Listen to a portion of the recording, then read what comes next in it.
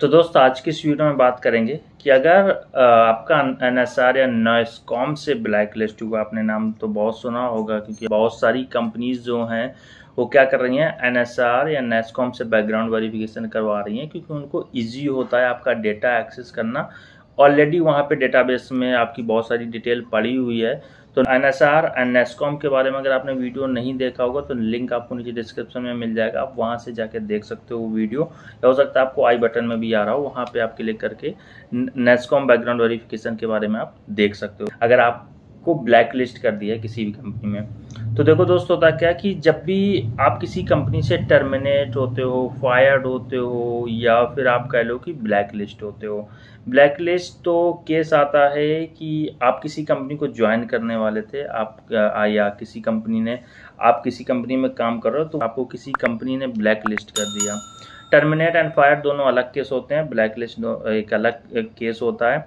तो उसमें होता क्या कि फिर आपके सेलेक्ट होने के चांसेस डिक्रीज हो जाते हैं आप ये कह लो। मतलब कि आपके सेलेक्ट होने के चांसेस या हायर्ड होने के चांसेस आपके 50 परसेंट हो जाते हैं क्योंकि आप ऑलरेडी किसी कंपनी से ब्लैक लिस्ट हुए होते हो।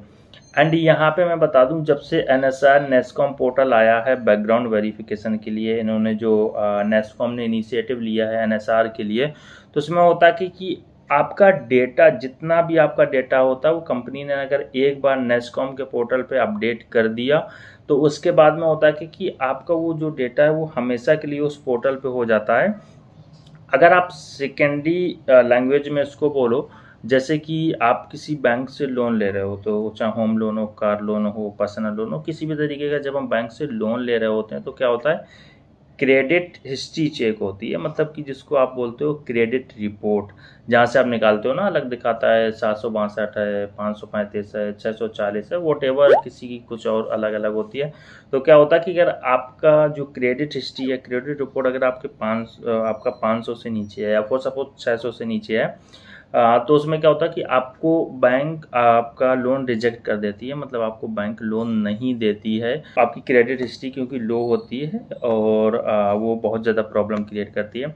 तो इस वजह से क्योंकि आपने कहीं ना कहीं डिफ़ॉल्ट किया होता है, इस वजह से आपकी क्रेडिट हिस्ट्री घटती है। इसी तरीके से यहाँ पे एन और नेस्कॉम के पोर्टल हैं।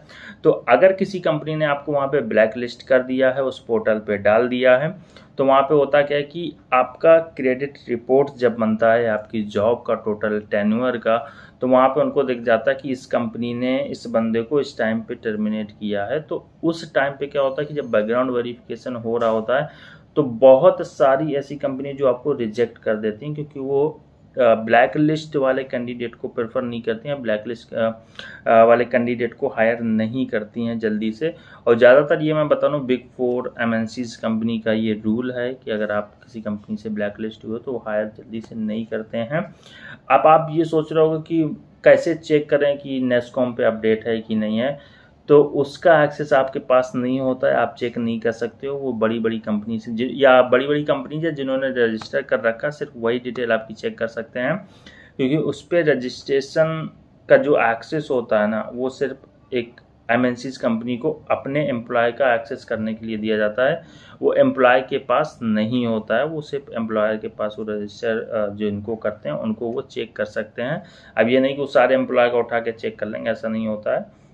जिनके एंड से उनका बैकग्राउंड वेरिफिकेशन हुआ है तो वो उस टाइम के लिए वो चेक कर सकते हैं। तो आप चेक नहीं कर सकते हो basically N S R N S com के पोर्टल से कि आप ब्लैक लिस्ट हुए हो कि नहीं हुए हो। बट हाँ ये ज़रूर है, आप गेस कर सकते हो। अगर आप किसी बड़ी बिग फोर या किसी एमएनसी कंपनी से अगर आप ब्लैक लिस्ट हुए हो तो आप सेवेंटी एट्टी परसेंट आप मान के चलो कि आपकी डिटेल नेस्कॉम पर रजिस्टर कर दी है as a black list candidate तो ये सारी डिटेल होती है दोस्त, और ऐसी टेक्नोलॉजी आगे बढ़ रही है, और ऐसी सारी चीज़ें अब हो रही हैं, क्योंकि यहाँ पे इनको बहुत ज़्यादा हेल्प मिल जाती है एन एस आर पोर्टल में। एक बार आपकी डिटेल रजिस्टर होगी तो फ्यूचर के लिए आप का बस डेटाबेस में जाके वहाँ पे वो चेक करेंगे तो उनको बैकग्राउंड वेरिफिकेशन स्टार्टिंग से नहीं कराना पड़ेगा।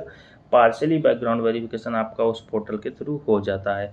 तो बस आज की वीडियो में इतना ही। वीडियो अगर अच्छा लगा तो लाइक शेयर एंड चैनल को सब्सक्राइब ज़रूर करें। बाकी अगर आपको मेरे से बात करनी है तो स्क्रीन पे मेरा नंबर आ रहा होगा। वहाँ से आप मुझे कॉल कर सकते हो। और वहाँ पे कॉलिंग चार्जेस होते हैं वन नाइन्टी नाइन रुपीज़ मेरा नाम है शुभम। मैं मिलता हूँ नेक्स्ट वीडियो में। Tell have a great moment and don't forget to like share and subscribe thank you so much for coming year